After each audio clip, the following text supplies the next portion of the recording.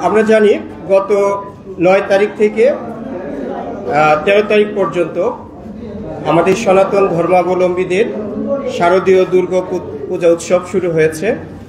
সে আলোকে আমাদের চট্টগ্রাম মহানগরীতে দুইশো পঁচাত্তরটি পূজা মণ্ডপে পুজো অনুষ্ঠিত আহ, তো গতকালকের একটি ঘটনা নিয়ে আমি আপনাদের সাথে কথা বলতে চাই। বিশেষ করে গতকাল আমাদের কোতোয়ালি থানাধীন জে এম সেন হলে একটি অনাকাঙ্ক্ষিত ঘটনা ঘটেছে যেটি ফেসবুক সহ বিভিন্ন সামাজিক যোগাযোগ মাধ্যমে আপনারা দেখেছেন।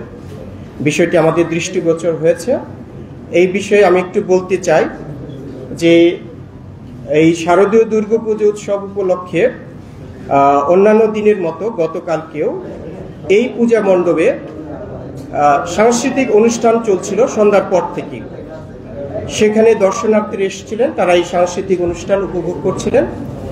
তো অনুষ্ঠান এক পর্যায়ে চট্টগ্রাম কালচারাল একাডেমির কিছু শিল্পী উক্ত পূজা মণ্ডপ কমিটিরই একজন সদস্য, যার নাম সজল দত্ত, তিনি পূজা উদযাপন কমিটির যুগ্ম সাধারণ সম্পাদক। তার অনুরোধে চট্টগ্রাম কালচারাল একাডেমির কতিপয় শিল্পী এই পূজা মণ্ডপের যে অনুষ্ঠান স্থল রয়েছিল স্টেজে সেখানে তারা গান পরিবেশন করে। তারা দুটি গান পরিবেশন করে। এর মধ্যে একটি গান একটি গানের যে শব্দ চয়ন সেগুলো উপস্থিত পুণ্যার্থী, দর্শনার্থীদের ধর্মীয় অনুভূতিতে আঘাত করে বলে প্রতীয়মান হয়। বিষয়টি অতি দ্রুতই সামাজিক যোগাযোগ মাধ্যমে ছড়িয়ে যায় এবং আইন শৃঙ্খলা বাহিনীর সদস্য হিসাবে এটা আমাদের নজরে আসে এবং আমরা তাৎক্ষণিকভাবে এই বিষয়টাকে অ্যাড্রেস করি। বিশেষ করে এই যে যারা এই অনুষ্ঠানে এই ধরনের গান গিয়েছে, তাদেরকে শনাক্তপূর্বক তাদেরকে আটকের জন্য আমরা চেষ্টা করি এবং আমরা সারা রাত অভিযান পরিচালনা করে এখানে যে ছয়জন গান পরিবেশন করেছিল তাদের মধ্যে আমরা দুইজনকে ইতিমধ্যে আটক করতে সক্ষম হয়েছি। তাদের একজনের নাম নুরুল করিম এবং আরেকজনের নাম শহীদুল ইসলাম। তাদেরকে আমরা জিজ্ঞাসাবাদ করছি। তাদের এই যে গান পরিবেশনা সেখানে তাদেরকে কি আমন্ত্রণ জানিয়েছিল বা এর পেছনে কোনো উদ্দেশ্য ছিল কিনা? আহ, প্রত্যেকটা বিষয়ে আসলে আমরা তদন্ত সাপেক্ষে আমরা ব্যবস্থা নিচ্ছি। তো এই গান পরিবেশনায় যারা জড়িত ছিল, বাকিদেরকেও আটকের ব্যাপারে আমরা অভিযান পরিচালনা করছি। আমরা ইতিমধ্যে দুইজনকে আটক করতে সক্ষম হয়েছি। তাদেরকে আমরা ব্যাপকভাবে জিজ্ঞাসাবাদ করছি। তাদের এই ঘটনায় যদি কোনো অসৎ উদ্দেশ্য বা ইলমোটিভ বা অপতৎপরতা থাকে, সে আলোকে আমরা যে আইনগত ব্যবস্থা, সেটা আমরা নেব। এখন পর্যন্ত মামলা হয়নি মামলার বিষয়টা প্রক্রিয়াধীন।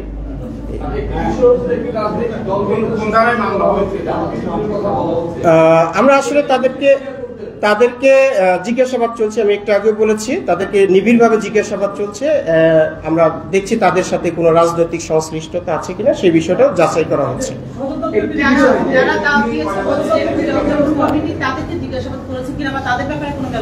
হ্যাঁ যারা এই পূজা উদযাপন কমিটি, যারা তাদেরকে এই অনুষ্ঠানে গান গাওয়ার জন্য ইনভাইট করেছিল তাদের সাথে আমরা কথা বলতে চেষ্টা করেছি। বিশেষ করে যার নাম এখানে উঠে এসেছে সজল দত্ত। তাকে আমরা জিজ্ঞাসাবাদের জন্য চেষ্টা করছি। ইতিমধ্যে তাকে আমরা তাকে জিজ্ঞাসাবাদের জন্য চেষ্টা করা হচ্ছে কিন্তু এখনও তাকে আমরা পাইনি। এই ঘটনার সাথে যারাই জড়িত সেটা অবশ্যই সে আইনের আওতায় আসবে।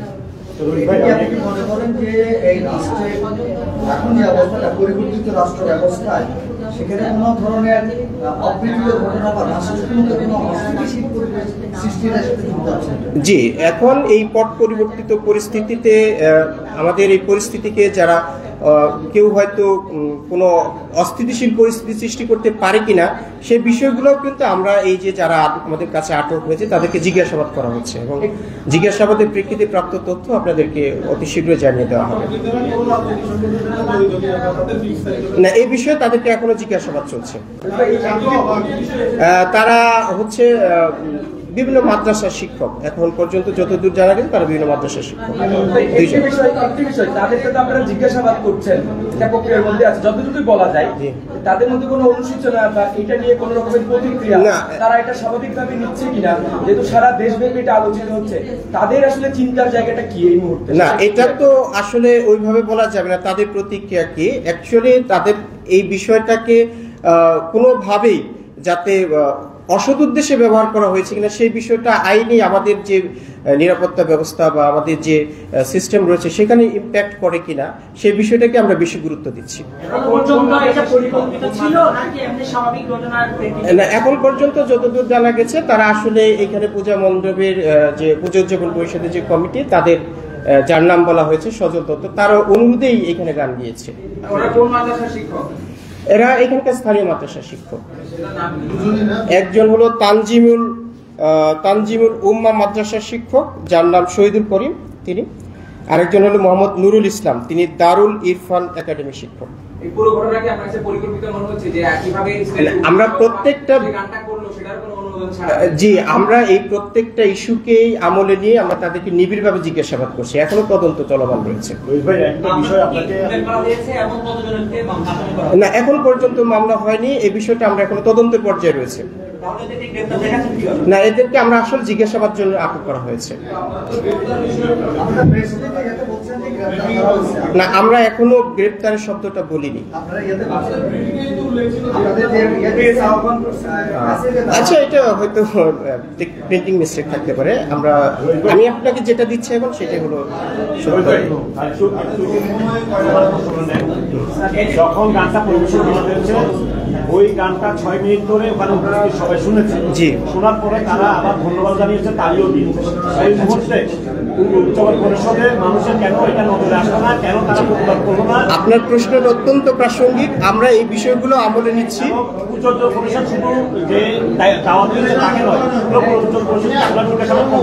না, এই- এবং আরেকটা জিনিস যোগ করি, এই- এটা পরিকল্পিতভাবে কোনো সাম্প্রদায়িক দাঙ্গা সৃষ্টি করার পরিকল্পনা ছিল কিনা এটাও আপনার ছুটে আসবে। অনেক ধন্যবাদ আপনাকে আপনার বিষয়টা উপস্থাপনের জন্য। আপনার এই প্রত্যেকটা বিষয়কে আমি বলেছি যে যথেষ্ট গুরুত্ব দিয়ে আমরা এই বিষয়গুলোকে তদন্তকে সামনে এগিয়ে নিয়ে যাচ্ছি। একটা বিষয় হচ্ছে একেবারে যদি সংক্ষেপে আমাদেরকে বলেন কোথা করেছেন অভিযোগটা কে? গ্রেপ্তারিত হয়নি। গ্রেপ্তার তো আরও বললাম জি। আমরা এই ঘটনা তো গতকাল সন্ধ্যায় ছিল এটা আমাদের নজরে আসার পর আমাদের এটা আমরা যথেষ্ট গুরুত্ব দিয়ে আমরা গত সারা রাত ব্যাপী তাদেরকে আমরা চট্টগ্রাম মহানগরী বিভিন্ন এলাকায় অভিযান পরিচালনা তাদেরকে আটক করতে সক্ষম হয়েছে। মানে তারা কি এমন ভয়ঙ্কর ইয়া মানে আসামি বা তাদেরকে আপনারা তারা এখনও তারা ভয়ঙ্কর আসামি কিনা এটা বলা যাবে না কারণ এটা আমাদের এখনও বলেছে আমরা তদন্ত চলছে জিজ্ঞাসাবাদ চলছে।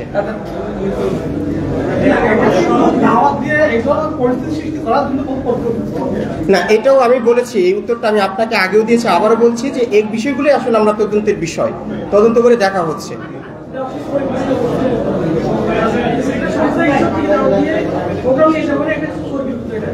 না, আপনারা যে বিষয়টা উপস্থাপন করেছেন, আমি বারবার এক জবাব দিচ্ছি যে এই বিষয়গুলো কিন্তু আমাদের মাথায় রয়েছে।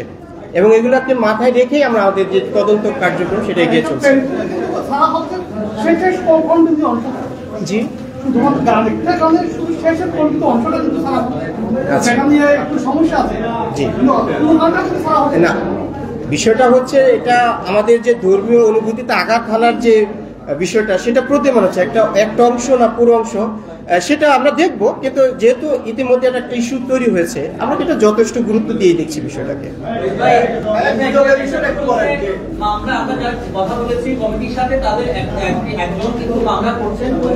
কিন্তু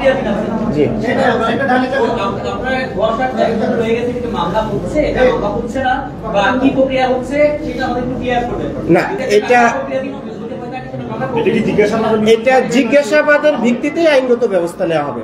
আমরা যে তথ্য পাবো, সেই আলোকে আইনগত ব্যবস্থা নেওয়া হবে। এবং মামলা হবে কি, মামলা হচ্ছে বা প্রক্রিয়াধীন, এই বিষয়গুলো অবশ্যই আমাদের কাজ যতটুকু অগ্রগতি হবে সেটা আমরা আপনাদেরকে জানাব। এখনও জিজ্ঞাসাবাদ পর্যায়ে রয়ে গেছে। বাদে কি হচ্ছে? আমরা বাদে কি হবে? না এখনও তো এটা সিদ্ধান্ত হয়নি। আচ্ছা আমার মনে হয় যে ঠিক আছে। নাস্তা দিতে থাকো। হ্যাঁ জি জি। প্লিজ লাস্ট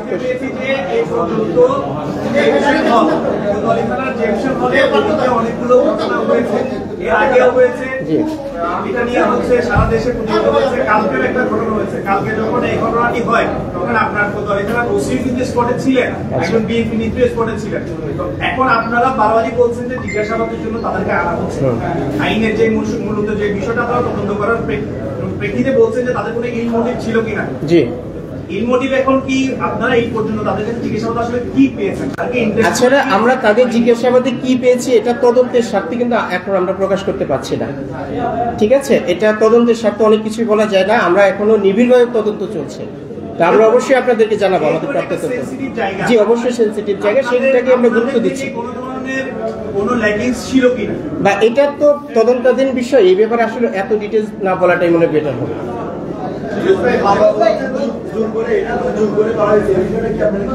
ভাই, প্রত্যেকটা বিষয়েই আমি, এটা আপনাদেরকে বলেছি যে এখানে একজনের নাম এসছে পূজা উদযাপন পরিষদে। তার অনুরোধে, সজল দত্ত, তার অনুরোধে তারা গান গিয়েছেন। এ ধরনের কিন্তু আমি আপনাদেরকে বলেছি।